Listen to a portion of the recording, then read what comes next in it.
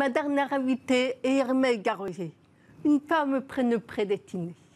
Elle a grandi au milieu des lamas tibétains et en est aujourd'hui la messagère.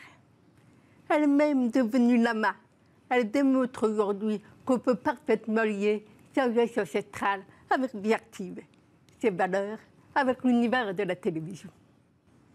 Hermès, j'ai lu ton livre, Lama à 19 ans et après, que j'ai adoré. Quel parcours quand même de vie absolument dingue. À 15 ans, tu décides en fait de rentrer en méditation, en retraite de 3 ans, 3 mois et 3 jours. Et tu as médité 14 heures par jour dans une pièce de 9 mètres carrés. Ce qui a fait de toi, finalement, la lama occidentale la plus jeune du monde. Quels sont les cinq points qui ressortent de cette expérience? Alors, c'est vrai que résumer 3 ans euh, de retraite, 14, 14 heures de méditation par jour, ce qui équivaut à 16 000 heures de méditation au cours de, de cette retraite, c'est difficile de dire 5 points parce que j'aurais mille choses à dire, mais c'est vrai que quand je rentre en retraite à 15 ans et demi, ça me permet de développer des valeurs que les adolescents, petit à petit, perdent ou ne développent pas à cet âge-là. Donc c'est vrai qu'à 15 ans et demi, de développer la bienveillance, euh, le respect, la compassion, l'amour, la tolérance, l'ouverture d'esprit, etc., c'est quelque chose qui m'a euh, apporté énormément et qui est finalement le, le, socle de ma vie, la base de ma vie. Ensuite, je pourrais dire la détermination, parce mmh. qu'à 15 ans et demi, partir, couper du monde, étant la plus jeune femme à tenter cette expérience à 15 ans et demi, euh, sans voir mes parents, sans voir l'extérieur, sans nouvelles, sans... C'était, il fallait une détermination euh, incroyable. Qui était culotté. Oui. et, et, être sacrément déterminée à 15 ans et demi, de se dire si, si, je vais me lever tous les matins à 4 heures, dormir assise pour garder la concentration de la journée. Donc je dirais la détermination. Ensuite, je dirais l'introspection. Mmh. Un voyage à l'intérieur de soi, c'est quelque chose qu'on apprend finalement peu ou jamais. Et très tard. Et très tard, ou très tard quand ça va mal. Et donc cette introspection, c'est un cadeau incroyable de se dire que finalement, euh, le bonheur ne dépend pas de circonstances extérieures, mais que tout, tout est là si on a su euh, développer euh, voilà, toutes ces valeurs, toutes ces choses positives. Je pourrais dire aussi les bienfaits de la méditation. Euh, c'est facile d'être bien quand on est assis sur son coussin, mmh. mais l'idée c'est que la méditation déteigne sur, sur la vie et face aux difficultés de la vie, les hauts, les bas, les obstacles, les souffrances. Et c'est bien quand, quand, les bienfaits euh, déteignent vraiment sur la vie plutôt qu'être bien que sur son coussin. Et un dernier point, je dirais peut-être le contentement. Être bien où qu'on mmh. soit, puisque comme on est bien à l'intérieur, finalement, on me pose sur un plateau télé euh, dans mon métier, je suis bien, et on me pose au monastère, je suis bien aussi, donc bien partout. Aujourd'hui, tu accompagnes des célébrités, des chefs d'entreprise. Quel enseignement leur partages-tu? Je dirais que vie active et pause méditative, euh, c'est pas incompatible. C'est pas parce que cette, ces célébrités ou ces chefs d'entreprise court après le temps, court après l'audience, court après le pouvoir, l'argent, euh, la notoriété, etc. Mais finalement, on peut aussi faire des pauses, mettre des parenthèses, des pauses méditatives dans son quotidien, dans la journée, pour euh, un retour vers soi. Et finalement, on peut se dire que trois minutes de pause, euh, quelque part, s'arrêter pendant trois minutes, c'est être encore plus effectif les heures qui vont suivre. Donc apprendre à s'arrêter, apprendre à observer, apprendre à être bien à chaque instant.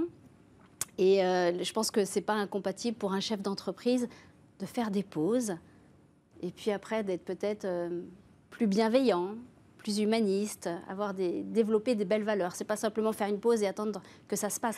C'est faire une pause et développer quelque chose de positif. D'accord. Et d'ailleurs, euh, une phrase te tient particulièrement à cœur. La bienveillance, c'est bien la cohérence est mieux. Oui. Pourquoi?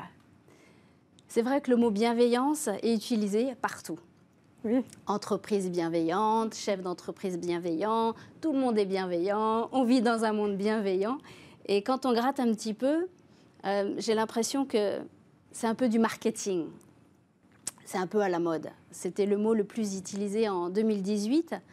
Et finalement, la bienveillance, pour moi, elle, est à plusieurs niveaux, envers soi, envers les autres et envers l'environnement ou ce qui nous entoure, les animaux, etc. Et quand on, est aligné avec ces trois formes de bienveillance, pour moi, il y a une forme de cohérence. Et cette cohérence, elle englobe tout, c'est-à-dire ce qu'on dit, ce qu'on pense et ce qu'on fait. Et quelqu'un qui est cohérent m'inspire tellement plus que quelqu'un qui se dit bienveillant. On dit jamais euh, je suis cohérent, on dit je suis une personne bienveillante, mais on n'entend jamais quelqu'un dire moi je suis une personne cohérente. Et pour moi, la, cohérence, ça me touche tellement plus. Et d'ailleurs, euh, pour revenir sur la méditation, tu as participé aux recherches de l'INSERM sur justement euh, la compréhension scientifique de la méditation et quelles sont les dernières découvertes sur le sujet? Alors c'est vrai que j'ai passé six jours à l'INSERM de Lyon, branché un peu de partout pour euh, explorer et voir si au cours de ma vie, avec 30 000 heures de méditation, est-ce que ça a modifié mon cerveau?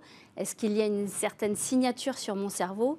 Plus de compassion, plus d'empathie, plus de bienveillance, de concentration, de détermination, de créativité, etc.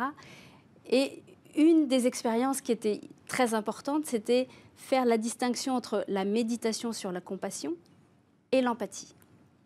Et grâce à ces résultats euh, qui sont analysés, on s'aperçoit que développer la méditation sur la compassion permet euh, de mettre un filtre, alors notamment pour les aides-soignants, les personnes qui sont dans le corps médical, c'est de se dire si ces personnes développent l'amour à l'intérieur d'elles-mêmes ou la compassion, et de, faire des gestes ou accompagner des personnes en souffrance avec compassion, euh, finalement, elles, prennent moins de souffrance que quand elles sont dans l'empathie. Et donc, les expériences que j'ai faites, c'était des, méditer sur la compassion, parfois méditer sur l'empathie, tout en recevant des décharges électriques dans le bras et en regardant des images très violentes. Et tout ça pour analyser si je suis plus sensible à tout l'environnement extérieur sous l'effet de la compassion ou sous l'effet de l'empathie. Et en fait, on s'aperçoit que la compassion est tellement plus grande, plus forte, plus vaste, et elle nous protège. Ça met un, certain filtre, et ça évite les burn-out, les dépressions, suicides, etc. Donc, une vraie invitation à méditer encore dans votre temps. Un petit peu, oui. et, euh, tu es aussi euh, productrice et tu as décidé de recueillir la sagesse des plus anciens lamas. Et justement, est-ce que tu aurais une sagesse ancestrale à nous partager tout particulièrement. Alors, c'est vrai que le fait de travailler à la télé depuis 25 ans et en même temps d'avoir passé 20 ans dans le monastère et parlant tibétain, j'aimerais, j'essaye de, de, croiser ces deux univers et je me dis, mais d'aller recueillir tous ces enseignements de ces derniers sages euh, parce qu'ils sont âgés, et de les recueillir en tibétain avec une authenticité, avec une simplicité, avec euh, vraiment de cœur à cœur, mhm. c'est quelque chose qui me tient euh, vraiment à cœur. Et quand je suis auprès d'eux, alors j'ai grandi auprès d'eux, mais des enseignements, j'en ai à travers leurs paroles, à travers le corps, la parole et l'esprit, c'est-à-dire à travers la manière dont ils pensent, la manière dont ils s'expriment, la manière dont ils agissent, avec des gestes tout doucement, à marcher tout doucement, à être dans la douceur, dans la tendresse. Et je dirais que ce n'est pas forcément un enseignement en particulier. Ah. C'est de les observer et de dire, OK, il a parlé de compassion, assis sur le trône, dans le temple, mais au quotidien, comment il vit la compassion? Comment ce maître vit la bienveillance? Comment le Dalai Lama vit le respect, la tolérance, etc., à travers ce qui s'est passé, par exemple, au Tibet avec les Chinois? Et d'observer, de dire, lui, il est vraiment cohérent. Et cette cohérence, elle me touche. Donc c'est mettre du sens dans sa vie. Et le Dalai Lama dit, quand on ne peut pas faire de bien, au moins ne faisons pas de mal. Merci beaucoup, Herman. Merci à toi. C'est la fin de cette émission. J'espère que vous avez passé un excellent moment avec nous. Et à très vite pour la prochaine.